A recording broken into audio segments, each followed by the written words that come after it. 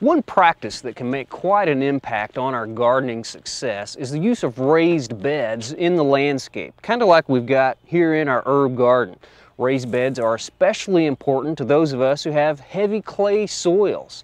Now we've talked on our program in the past about how we can use organic matter to loosen up and improve clay soils, but sometimes we need to go a step further and just get up out of the clay and create raised beds in order to have healthier plants.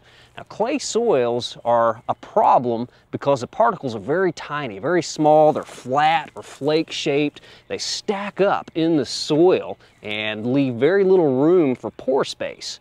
We can take organic matter, till that into the clay. It takes those small particles, glues them together. They make different size particles, different shaped particles. They stack up differently and allow more pore space so the oxygen and the water can come down through the soil profile. But again, sometimes we need to just get up out of the clay with the raised beds by constructing raised beds in the garden, it gives us the opportunity to create our own soil, the soil we want. We can create our own custom blend of soil, no matter what kind of soil we start with there on our property.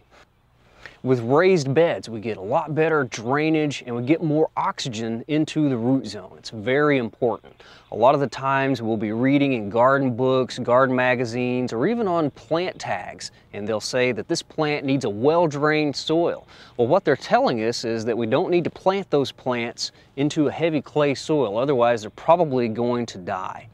I had a friend once who was having some gardening problems and I went out to look at his beds and I told him that I didn't think his beds were that well drained. He said, of course they are because the beds were sloped and all the rainwater would just run away. Well, he was correct in that he had good surface drainage, but he didn't have good percolation. The water didn't move through the so soil profile well enough to give that good drainage and allow the oxygen to come in to uh, fill up those pore spaces. So it was basically just a clay soil that happened to have a sloped surface and the drainage was the problem.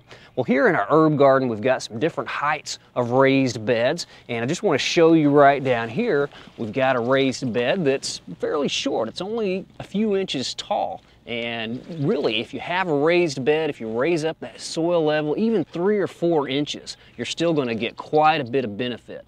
A lot more so than if you were planting flat in the existing soil, especially if it's clay. Well, I've got some other examples of raised beds that I wanna show you over near our vegetable garden.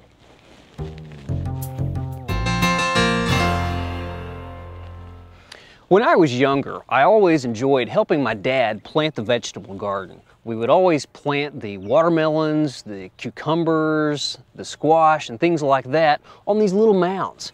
These little mounds are the simplest form of a raised bed. We would plant those cucurbits on these little mounds because by mounding the soil up and creating these little raised beds, it enables the soil in this area to heat up a little bit faster.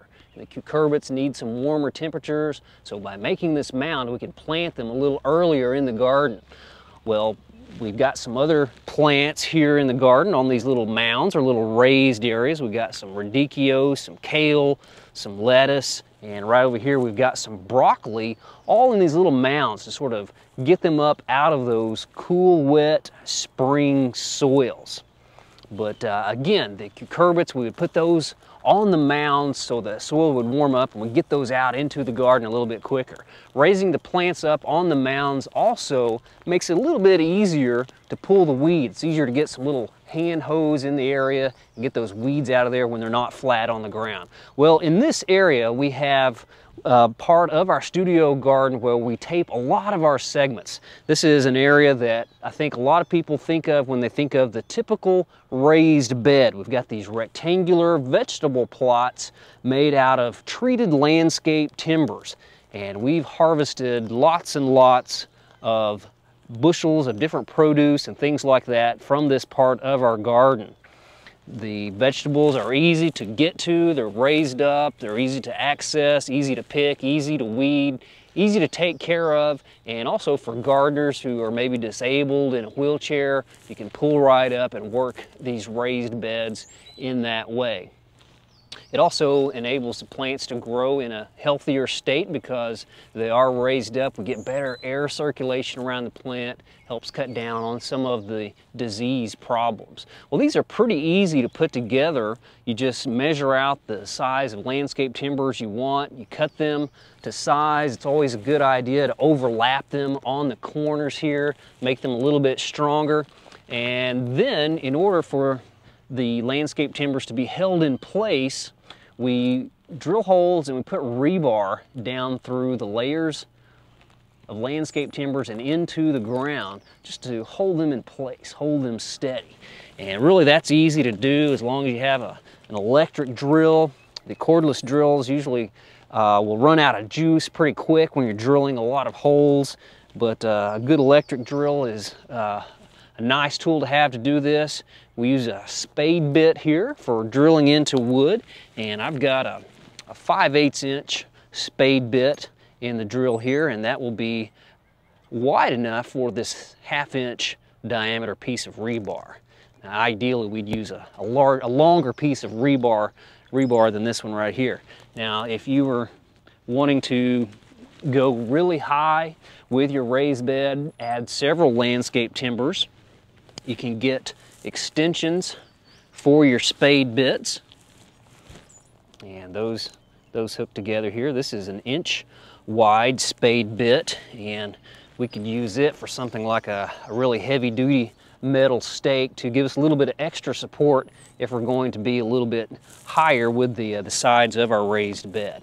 But you can drill through all the layers of the landscape timbers or if you so choose, you could just do one or two layers and just go into the ground on those layers and then down just to the, the, the next two layers as you, as you build your raised bed.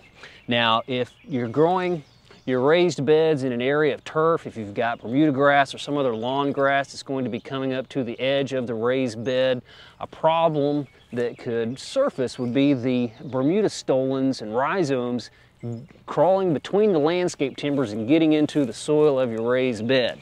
So to keep that from happening, once you get your raised bed put together, it's a good idea to use some landscape fabric and line the inside of the raised bed. Just take a staple gun and just attach that to the sides of those landscape timbers. That'll keep those Bermuda stolons from crawling in there and it also acts as a filter. It keeps that soil from sifting out through the cracks in the landscape timbers or between landscape timbers. We don't have to worry about any Bermuda grass getting in our bed because this area around our raised beds, we've just put down landscape fabric and covered it with some pecan shell mulch. And we just have to replace that about every two years but uh, makes a really good soil conditioner. Those crushed up pecan shells, great for the compost pile. Well, once our raised bed is put together, we've got it lined with the fabric, we're then ready to put the soil in place. And if you're only going to do a raised bed that's about four to six inches tall, I would recommend using all organic matter. If you're going taller, I would mix half organic matter and half loam soil or sort of a sandy loam soil.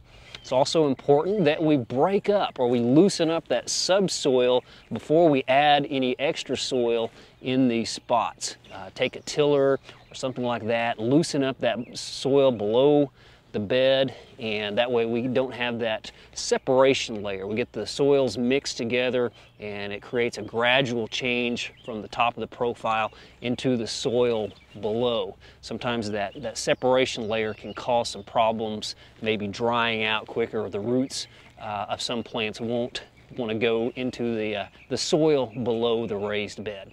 Well, I've got a few other materials I want to show you that we can use to construct raised beds.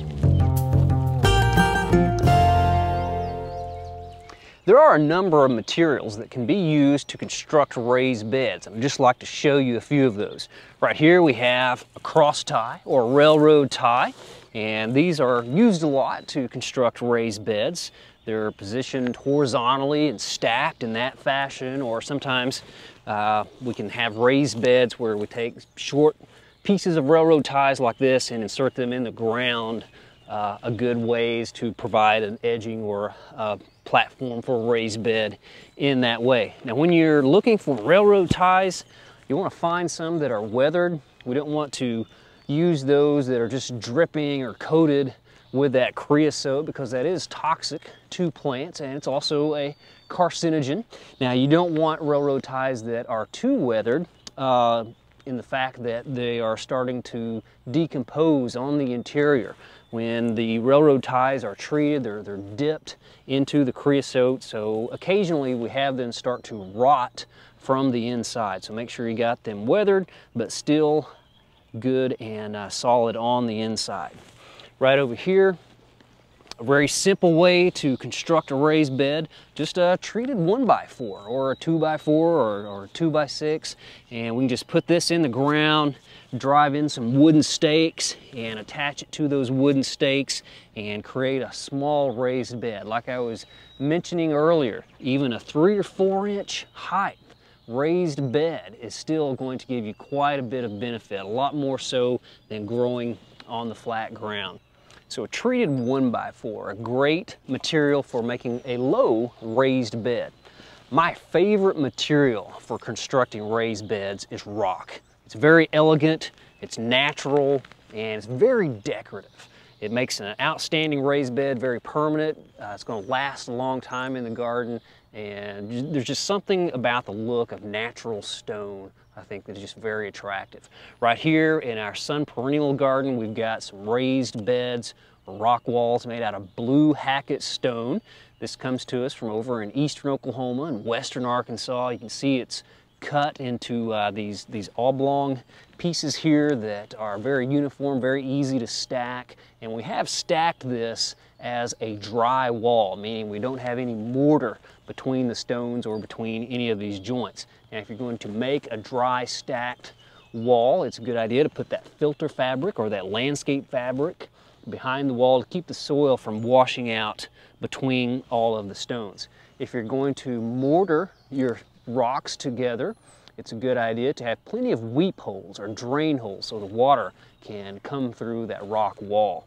There are some landscapers or some gardeners who will create a dry stacked wall and then they will just mortar together the top row of rock. That way if someone is, is walking on it or, or bumps into it, it holds together a little bit better and you still get the great drainage down below.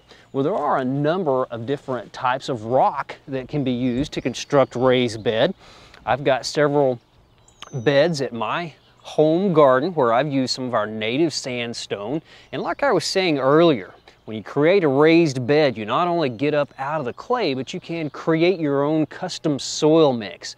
I've got some native beds where I've got a low fertility type soil where I plant those natives and they do quite well. I've also got a bed that I call my grit bed.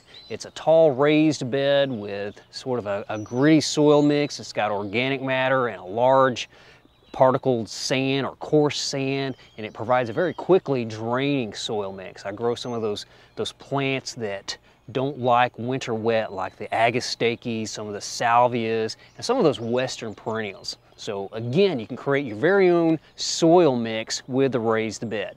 Well, I've got one other example of raised beds that I want to show you.